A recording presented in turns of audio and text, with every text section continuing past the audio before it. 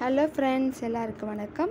இது உங்கள் டிஎன்பிஎஸ்சி போராளிகள் யூடியூப் சேனல் நம்ம அந்த சேனலில் டெய்லி டிஎன்பிஎஸ்சி பிஎட்கான கொஸ்டின்ஸ் எல்லாம் பார்த்துட்ருக்கோம். டிஎல்எம்ஸும் போட்டிருக்கோம். அது எல்லாமே ப்ளேலிஸ்ட்டில் இருக்குது போய் பாருங்கள் நம்ம டெய்லி வந்து இப்போ செமஸ்டர்ஸ் கொஸ்டின்ஸ் வந்து இதில் வந்து அப்லோட் பண்ணிகிட்ருக்கோம் எக்ஸாம் வந்து நாளைக்கு ஸ்டார்ட் ஆகுது. ஒவ்வொரு படத்துக்கும் நம்ம கொஸ்டின்ஸ்லாம் போட்டிருக்கோம். அது எல்லாமே ப்ளேலிஸ்ட்டில் இருக்க. போய் பார்த்துக்கோங்க. இப்போ இந்த வீடியோ நம்ம எந்த பார்க்க போகிறோன்னா பெடகாஜியா ஃபிசிக்கல் சயின்ஸ்க்கான கொஸ்டின்ஸ் தான் பார்க்க போகிறோம் ஃபிசிக்கல் சயின்ஸில் வந்து சயின்ஸ் கொஸ்டின் இருக்குது பார்த்தீங்களா அதுக்கான கொஸ்டின்ஸ் தான். மே ரெண்டாயிரத்தி பத்தொம்போது நடந்த கொஸ்டினும் மே ரெண்டாயிரத்தி பதினெட்டு நடந்த கொஸ்டின்ஸ்க்கான தான் பார்க்க போகிறோம் வீடியோவை பார்த்து எல்லாத்தையும் நோட்ஸ் எழுதி வச்சுக்கோங்க. வாங்க இப்போ வீடியோக்குள்ளே போகலாம் பாருங்கள் ஃபஸ்ட் கொஸ்டின் பாருங்கள் ஃபஸ்ட் கொஸ்டின் வந்து கரைசல்கள் என்றால் என்ன? அதன் வகைகளை சரியான எடுத்துக்காட்டுடன் விளக்குக. அதுக்கடுத்து ரெண்டாவது கொஸ்டின் பாருங்கள் அமிலம் காரம் மற்றும் உப்புகள் என்றால் என்ன? அதுக்கடுத்து அமிலம் காரம் மற்றும் உப்புகளோட பயன்களை எழுதுக.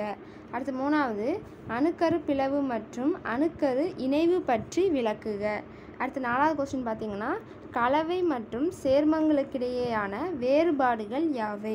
அடுத்து அஞ்சாவது கொஸ்டின் அயனிச் சேர்மங்கள் சகப்பிணைப்பு சேர்மங்கள் என்றால் என்ன? அவற்றுக்கிடையேயான வேறுபாடுகளை விளக்குக. அடுத்த ஆறாவது கொஸ்டின் வந்து வரையறை தருக. எதை எதை பற்றிலாம் வீச்சு அலைவு நேரம் அதிர்வெண் அலைநிலம் இது எல்லாத்துக்கும் டெஃபினிஷன் மட்டும் கேட்டிருக்காங்க. அடுத்து ஏழாவது கொஸ்டின் வந்து மெண்டலீஃபோட தனிம வரிசை அட்டவணையோட பண்புகளை விவரி.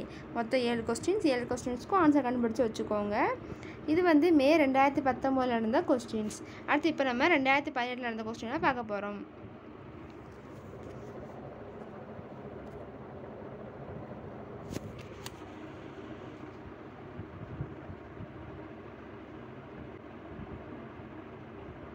இது வந்து மே ரெண்டாயிரத்தி பதினெட்டில் நடந்த கொஸ்டின்ஸ் ஃபிசிக்கல் சயின்ஸ்க்கான கொஸ்டின்ஸ் தான் இப்போ பார்க்கலாம். இதில் ஏழு கொஸ்டின்ஸ் இருக்குது மொதல் கொஸ்டின் பாருங்கள் தனிம வரிசை அட்டவணையோட ஏழு தொடர்களை விளக்குக. அடுத்து ரெண்டாவது கொஸ்டின் வந்து மோதலுக்கு முன் அமைப்பின் மொத்த உந்தம் மோதலுக்கு பின் மொத்த உந்தத்துக்கு சமம் நிரூபிக்கவும். அடுத்து மூணாவது அயனிச் சேர்மங்களோட பண்புகளை பட்டியலிட்டு விளக்குக. அடுத்து நாலாவது வந்து குறுக்கலைகள் மற்றும் நெட்டலைகளை வேறுபடுத்துக. அதுக்கடுத்து டெஃபனிஷன் கேட்டிருக்காங்க. எதுக்கலாம்னா வீச்சு அலைவு காலம் டி அலைவு நீளம் லேண்டா அடுத்து அதிர்வெண் எண் அடுத்து அஞ்சாவது கொஸ்டின்ஸ் பாருங்கள் உலோகக் கலவைகள் என்றால் என்ன? உலோகக் கலவைகளோட சிறப்பியல்புகளை விளக்குக. அடுத்து ஆறாவது படிவரிசை என்றால் என்ன?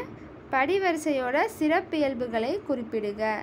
அடுத்து ஏழாவது கொஸ்டின் வந்து நியூட்டன் இயக்கத்துக்கான முதல் விதியை வகுத்துரை. அவ்விதி எவ்வாறு நிலைமம் என்பதை விளக்கும். மொத்தம் ஏழு கொஸ்டின்ஸ் இந்த கொஸ்டின்ஸ்க்கும் ஆன்சர் கண்டுபிடிச்சி வச்சுக்கோங்க. இது வந்து ரிப்பீட்டட் கொஸ்டின்ஸ் வந்துச்சுன்னா உங்களுக்கு எக்ஸாம்ஸ் எழுதும்போது வந்து ஈஸியாக இருக்கும். வீடியோ பிடிச்சிருந்துச்சுன்னா மறக்காமல் லைக் பண்ணுங்கள் சேனலை சப்ஸ்கிரைப் பண்ணுங்கள் உங்கள் ஃப்ரெண்ட்ஸ்க்கும் ஷேர் பண்ணுங்கள் தேங்க்யூ